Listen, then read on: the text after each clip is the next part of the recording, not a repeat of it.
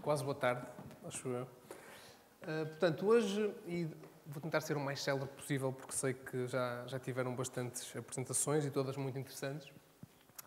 Um, vou tentar ser célebre e explicar um pouco o que é isto do Braga Media Arts. E para tal, vou, vou falar, vou focar a minha apresentação numa série de eventos e ações charneira que estão na base desta relação de Braga com as Media Arts. Vocês depreenderam, por certo, pela apresentação do João, um, que é um parceiro de longa data, que a cidade de Braga tem uma relação que começou por ser muito informal uh, e que está tornar cada vez mais formal e institucional com este domínio artístico. Uh, viram, com certeza, pelo número de encomendas que lhe foram feitas, pelo seu trabalho na cidade e, e por colaborar também com outros artistas da cidade que trabalham neste domínio. Portanto, eu vou, vou focar alguns alguns projetos algumas estruturas que estão umbilicalmente ligadas a, esta, a esta área na cidade de Braga e vou também apresentar de uma forma cronológica, quase em termos narrativos, como é que chegamos a este ponto em que de facto há declaradamente uma aposta da cidade nesta área. Uh, pessoalmente, eu acabo por estar ligado uh, de raiz a esta, esta história, porque, para além de diretor artístico do Festival Semibreve, sou também diretor artístico do Generation.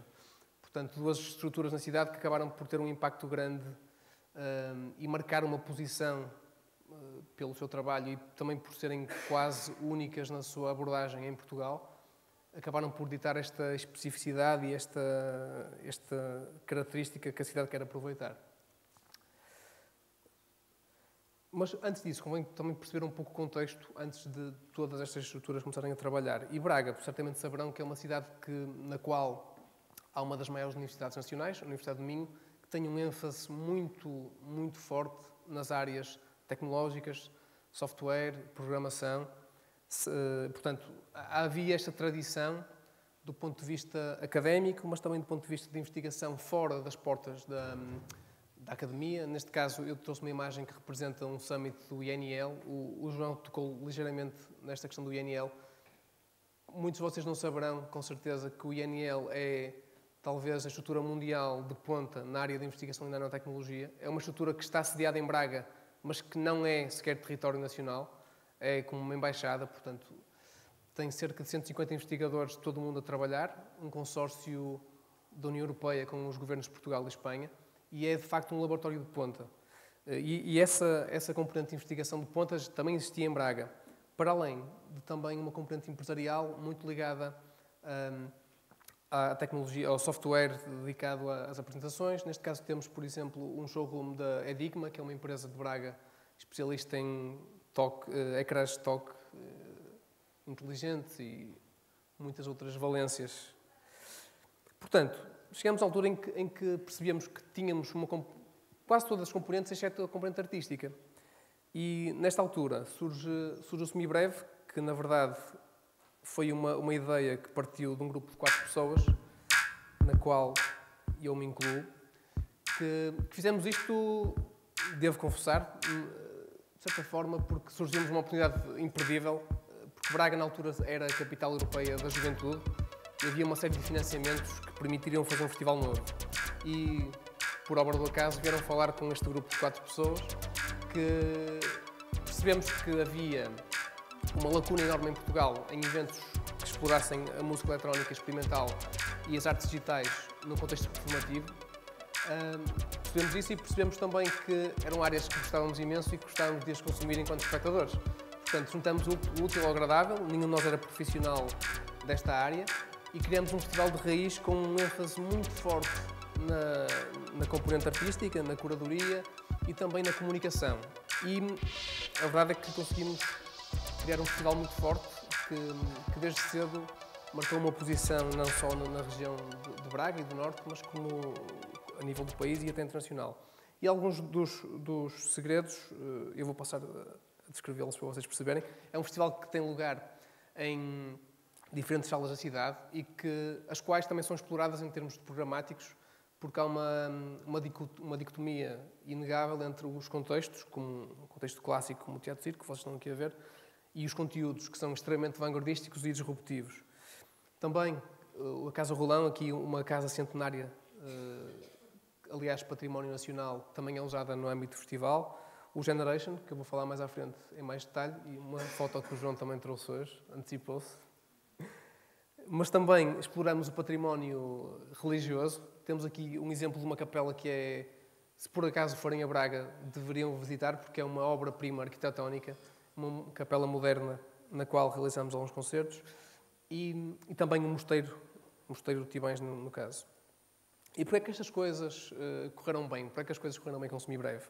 Em primeiro lugar, uh, como disse há pouco, foi um festival que, por ser um caso único em Portugal, angariou desde o, desde o seu início um enorme interesse de, de pessoas de todo o país e, inclusive, de toda a Europa. Hoje em dia, o festival tem 50% de público vindo de fora do país.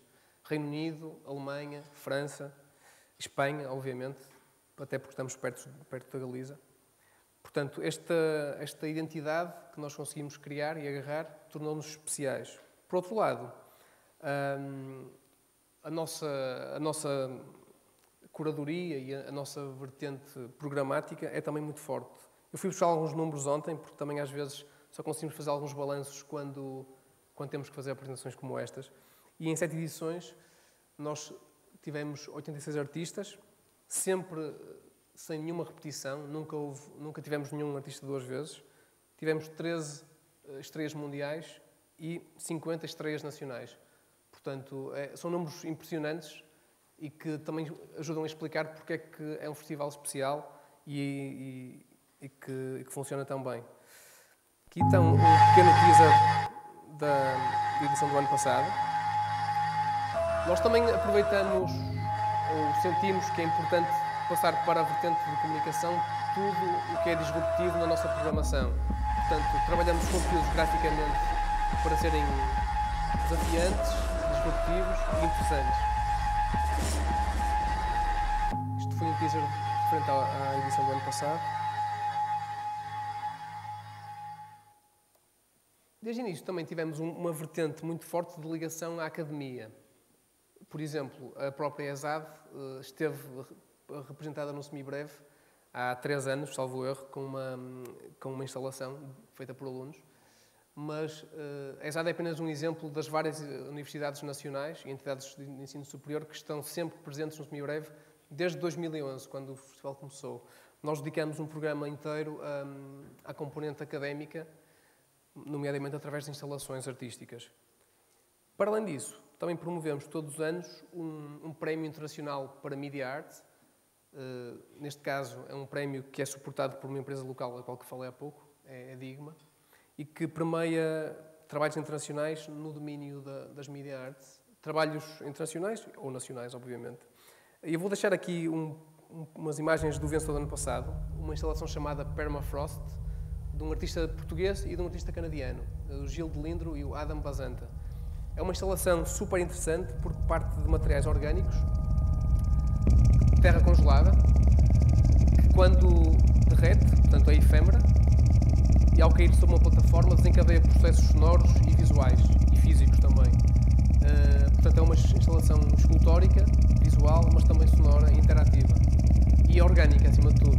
Foi um prémio que ganhou, uma instalação ganhou muitos prémios, incluindo o nosso, e esteve presente no festival o ano passado. Foi muito complicado de devo dizer-vos. Temos que arranjar uma tonelada de terra, muitos congeladores e. Mas de facto o efeito visual é super interessante.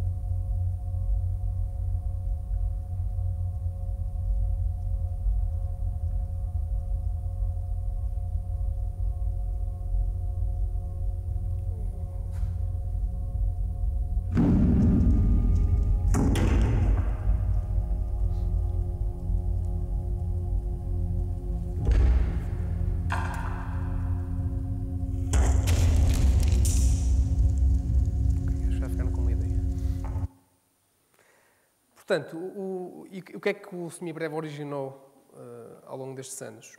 acima de tudo, ou em primeiro lugar, um impacto mediático muito considerável, desde a imprensa nacional, a imprensa nacional como os meios de publicações nacionais, como também, por exemplo, o Guardian, que fez um artigo alargado sobre o festival o ano passado, uh, uma das muitas entidades internacionais presentes no, no semibreve, como La Stampa, Fact, uma publicação mais generalista.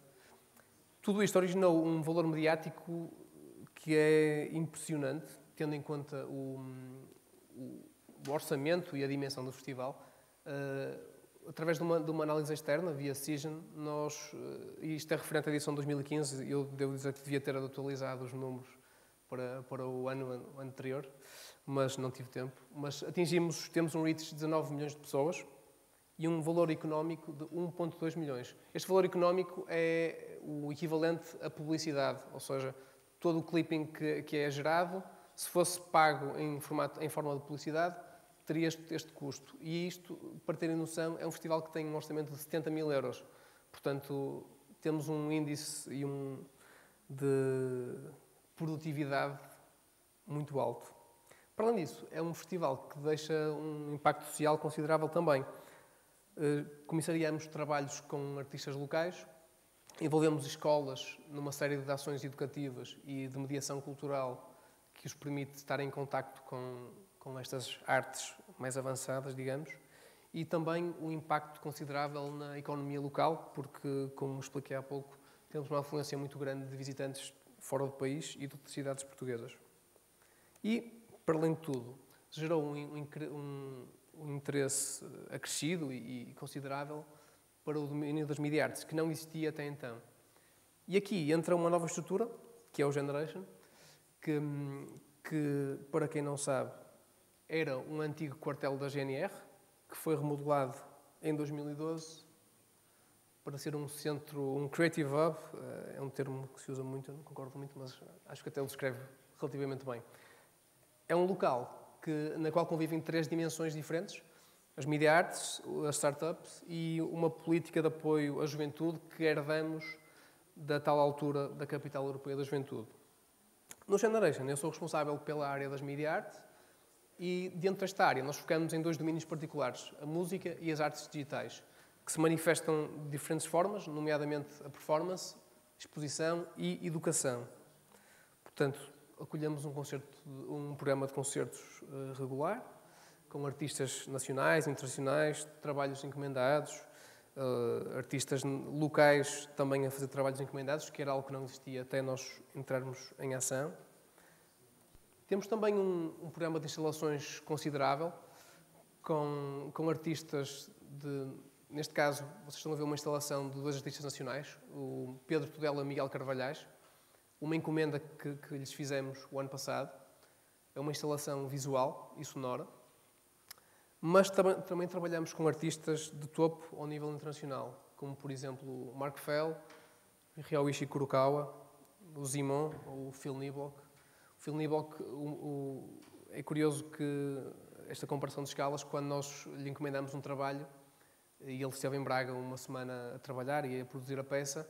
Uh, nessa mesma semana, o acervo dele foi comprado pelo Tate Modern. Uh, é curioso perceber, sabendo a nossa escala e a escala da Tate Modern, como é que nós podemos, podemos ter este tipo de contacto sem a maior parte das pessoas saberem quem raio é o Phil Niblock. Outro exemplo que eu queria trazer cá é o exemplo do Scale Travels, que é um programa colaborativo que temos com o INL, o Instituto de Nanotecnologia, que se, que, para o qual fomos, na verdade, contactados por eles, pois estavam atentos ao trabalho que tínhamos eh, desenvolvido até à altura, e hum, contactaram-nos para saber se tínhamos interesse em fazer algo com o INL. E eu inspirei-me no, no, programa Arts at CERN. O CERN é, como sabem, um dos maiores centros de investigação do mundo, na Suíça, e que colabora, na qual há muita colaboração com artistas. E então desenvolvemos um programa de residências artísticas em que determinados artistas, super específicos, super adaptados a esta, esta temática, passam um período com os cientistas no laboratório para desenvolver ideias que depois permitem criar novos, novas manifestações artísticas. Portanto, fazemos isto três vezes por ano, desde 2016. E vou-vos deixar aqui dois vídeos curtos que retratam um pouco o processo e uh, as obras geradas. How do I express my experiences Primeiro pelo artista holandês Tarik INL residency in my work? I realized that I'm not a scientist in the sense that they are scientists and that it's a hopeless mission to try and really reproduce their things in my art. But what I did think is that uh, we do have some parallel processes um, and it's nice to just in my own uh, in my own field of pixels uh, do my own nanotechnology research where they do their nanotechnology research within uh, actual reality. Um, so I'm working with how the pixels of my uh, of my screen will interact with each other. I can uh, define different rules, and that's what I've been doing. I've really been setting up uh, an alternate reality of forces which interplay in specific ways um, through which structures organize themselves. Um, and uh, in that way have been uh, setting up a parallel universe to the actual nanotechnology one. So I can actually really uh, also go. O Tarik é um artista, provavelmente alguns de vocês devem conhecer. Ele um, é um artista visual que trabalha com artistas como os Radiohead, ou Tom York, Nicolas Jarre, Mona Lake e que produz, produziu ou criou o seu próprio software para gerar para gerar imagens e criou, no âmbito deste desafio, uma espécie de universo próprio, com leis próprias definidas, inspiradas naquilo que é feito no INL, para criar uma instalação visual lindíssima. Por outro lado, também vou-vos deixar um pouco do vídeo do Ryoichi Kurokawa, uma sumidade na área das media arts,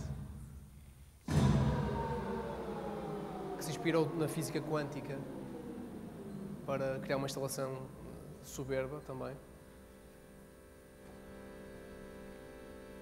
First of all, I get uh, material from INL, like microscopically detected images and also uh, computer simulation data. And basically, uh, as you see the display, there's a scale. Uh, there's no uh, unit, but it means uh, nanometer. From the beginning to the end, we are going to like from micro scale to nanoscale. And at the end, it's going back to the uh, micro scale. Based on this uh, scale timeline, I use uh, a lot of uh, uh, material from uh, INL, microscopically detected images. And after 100 nanometer, I'm adding data from them. So structure has a seven panel, panel displays, which has a different angle and also uh, we realized with four channel sound and uh, making like a sculpture, sculpture style installation this time. Until now I'm working always uh, multi screens and I've tried to find a new way to uh, uh, presenting with uh, different angle, different position, etc. And this time I just want to use this like a twin spin affected vector structures.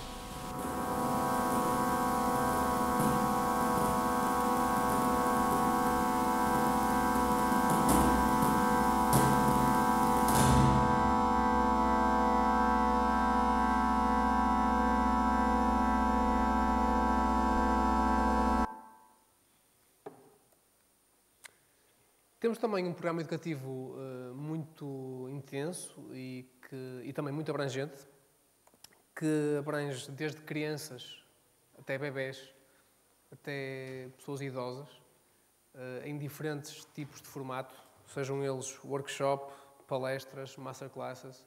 Um, fazer, temos nas nossas instalações mais de mil crianças por ano provenientes de escolas do primeiro ciclo que, que nos visitam para fazer workshops práticos e com isso estamos a trabalhar uma, toda uma geração futura que, que é fundamental para sustentar esta aposta da cidade na área. Temos também open calls dedicadas a cidadãos locais, artistas, estruturas locais que trabalhem no domínio das media arts.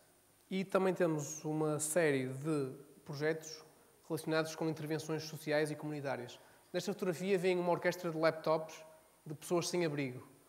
Um projeto que desenvolvemos em 2015 com, com pessoas que, com a colaboração da Cruz Vermelha de Braga, pessoas literalmente sem abrigo, que durante um período de seis meses trabalharam connosco e produziram um espetáculo, foram, foram artistas, literalmente.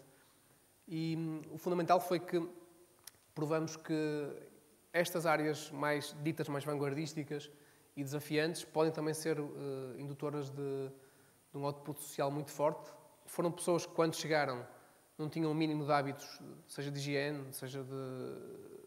tinham problemas de adição muito graves, e ao longo do processo, não só melhoraram no, no, próprio processo artístico, como no processo pessoal, como na sua, na sua, no seu dia a dia. Aliás, é engraçado que eles até se queixavam quando não havia ensaios, exigiam que houvesse ensaios e envolveram-se tanto no projeto que foi muito, muito tocante.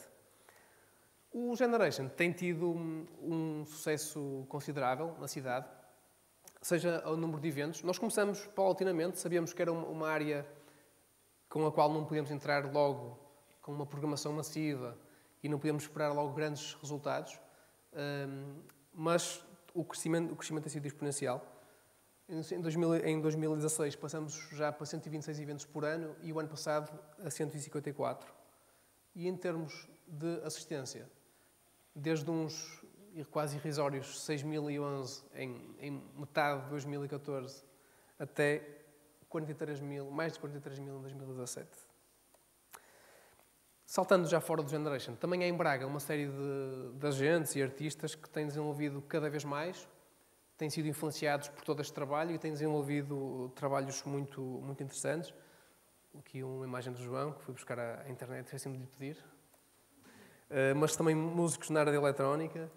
Uh, aqui uma imagem dos Mão Morta, uma banda que todos devem conhecer, uma banda de culto nacional que começa também a incorporar nos seus próprios processos uh, conteúdos no domínio das media arts, também na fotografia, muitos artistas que, que têm um trabalho, um trabalho muito válido. Em Braga há um, um, dos maiores, um dos mais importantes festivais de fotografia nacionais, os Encontros de Imagem.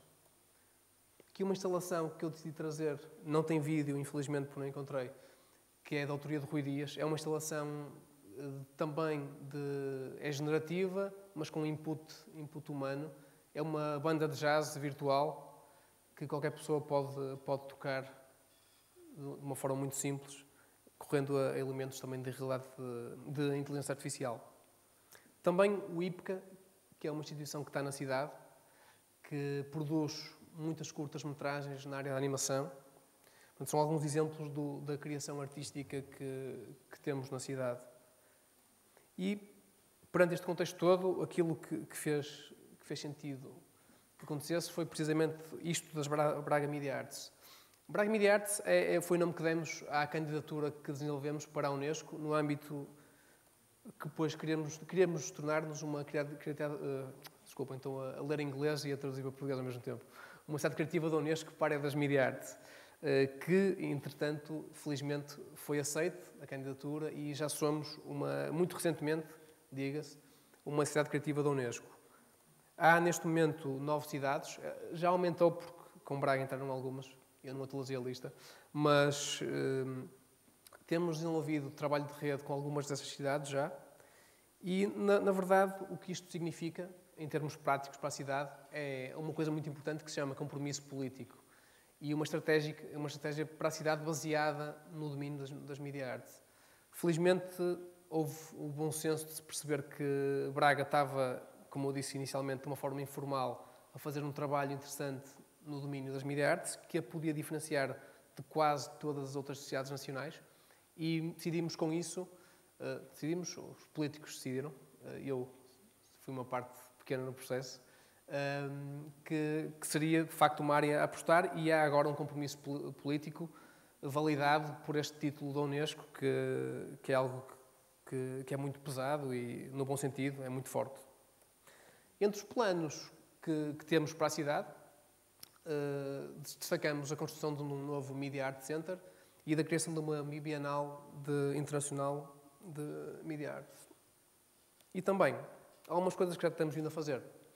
A integração das Media Arts nos eventos de larga escala na cidade, como por exemplo a Noite Branca, que é um evento que junta durante dois dias cerca de 400 mil pessoas na cidade de Braga.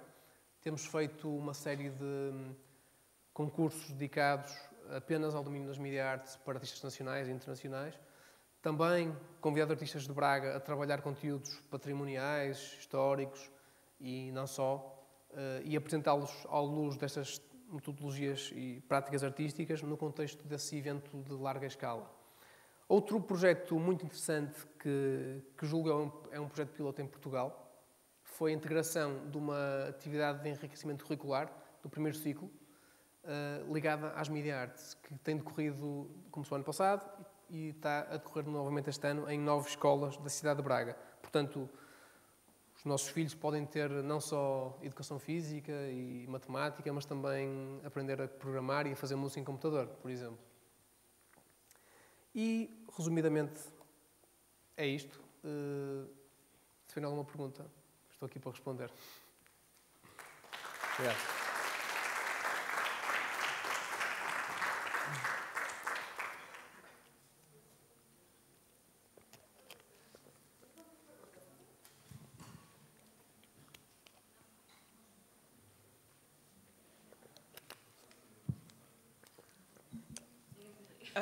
queria saber uma, uma pergunta.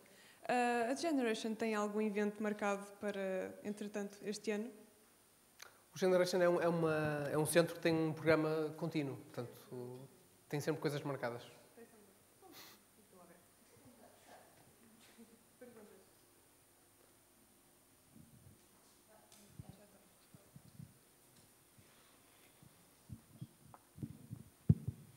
Uh, boa tarde. Uh, uma pergunta. Imaginemos que pronto, nós acabamos o curso, uh, vamos à procura de, de trabalho, pronto, e, e, tendo em conta a generation, aquele, ponto da, da, juventude, seria uma, provavelmente seria uma mais-valia se calhar eu acabando o curso mando logo o currículo ou, ou é preferível ter sempre já alguma, alguma experiência profissional ou qual, como, é, como é que reagem em relação a isso?